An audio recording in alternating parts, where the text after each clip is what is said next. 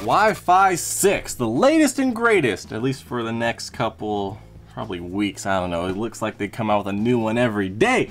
But we got the AX1800 Wi-Fi 6 router from Netgear, which is gonna bring us the latest and greatest technology today, but not tomorrow, because it's not really future-proof. It's one and a half times faster compared to AC routers and recommended for 20 or more devices. Although, I'm a little confused here.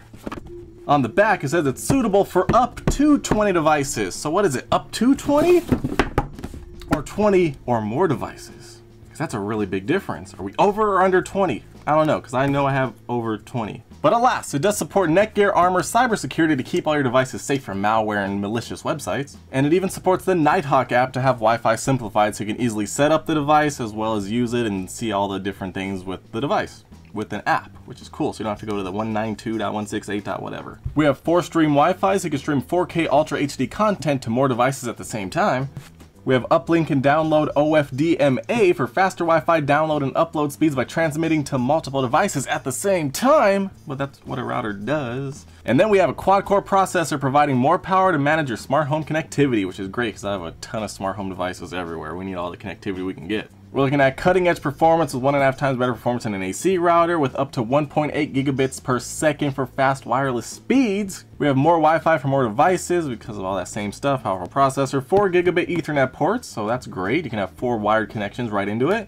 We have Wi-Fi 6 supporting all current devices and it's backwards compatible. And then we even have voice control by Amazon Alexa and the Google Assistant, although I'm not really sure what I would need to do with that, but it's cool to have, I guess. We're looking at Wi-Fi 6 802.11ax dual band Wi-Fi with both 2.4 gigahertz and 5 gigahertz networks, along with backwards compatibility for A, B, G, N, and AC. We have 1024-QAM for 25% data efficiency and faster speeds than 256QAM routers. We have a powerful quad-core processor, 256 megabytes of flash memory, and 512 megabytes of RAM, along with the 5 gigabit ethernet ports, one WAN and four LAN. We have standard-based Wi-Fi security 802.11i, 128-bit AES encryption with PSK, automatic firmware updates delivering the latest security patches to the router, and a VPN support so you can stay safe on the internet.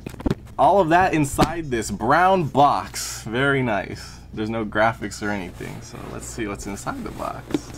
All right, quick start one, two, three. Download the Nighthawk app on your phone to install your router. Secure your devices with Netgear Armor. Do more with the app. Okay, that's basically it. So to be fair, this router is not for the biggest house in the world. It covers about 1,500 square feet of space and, you know, walls are gonna interfere with that. So maybe you're looking at closer to a thousand. I don't know. So you might want some extenders and maybe a mesh setup, which they do offer something like this to have a mesh setup so you can have more access points around your house so you can get the strongest signal no matter where you are. Inside the box I have a nice flat black ethernet cable with a nice amount of length, along with the power adapter to give this thing all the juice it needs. And then we have it right here in all its glory.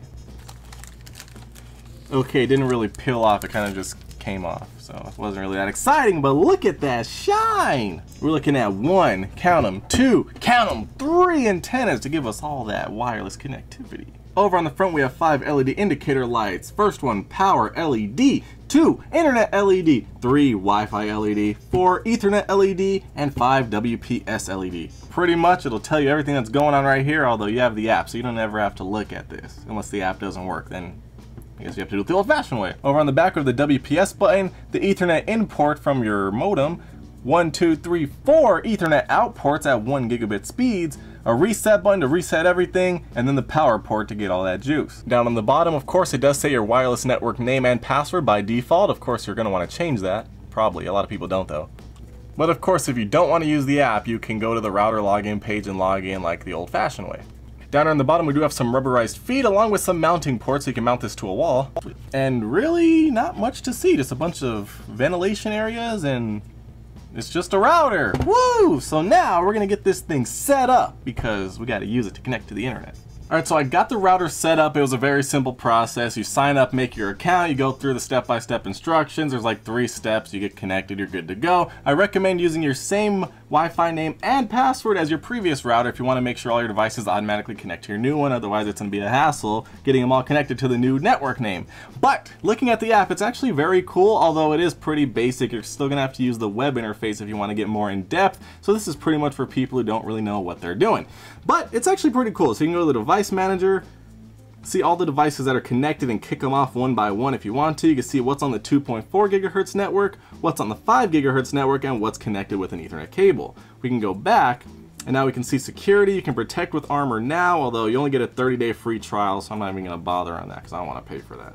And then we have internet speed, which is actually really cool because you can run a speed test of the router while it's connected to the modem so you can see if you're getting your full speed that you're paying for. So right now we're gonna run it and see what we get. This is actually kind of sad because I'm supposed to be getting one gigabit down, but upload is capped at 35 megabits a second. Abysmal, I know, but it is what it is. That's the best they can do because that's the best I can get over here. I don't like it, but I gotta deal with it. The ping is usually pretty low, so let's see where we're working with. Looks like we got 36 for the upload. We're passing 800 for the download, very nice. Okay, so we're actually getting really close to what we're supposed to be getting. That's always a good sign. Final result, 837 down, 36 up, and a 7 millisecond ping. Definitely not too bad. It says your internet speeds are extremely fast.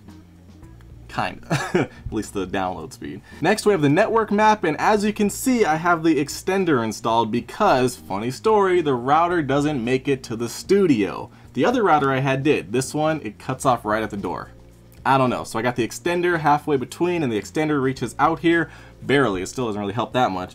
But as you can see, we got that. So I can't do a speed test of this phone connected to the router itself right now, but I did one while I had signal on the router, and this is what I got. I was able to pull 481 megabits per second down and 25 megabits per second up, which is, you know, download was good. Upload, I'm not sure why it was lower than the 35, because 35 was already really low, and we had a ping of 8 milliseconds, so, you know, it's doing a good job. One of the other features I'm liking about this is we have a traffic meter so you can actually see how much data you use on your router and it's actually kind of cool to look at. As you can see I use quite a bit, actually 130 gigabytes so far, that's pretty impressive. And you can also set up a guest Wi-Fi network if you don't want to give people your password when you have guests over so that's actually pretty cool. I mean every router does that but you can do it here, all within the app, very nice. So with all that being said, the router is good if you have signal. Remember, it covers 1,500 square feet, although it has trouble penetrating walls, I guess. So you go down to maybe like 700 square feet. I mean, it's not that far from the router, but it doesn't make it over here. So that's pretty crazy. I'm not liking that. But when you have signal,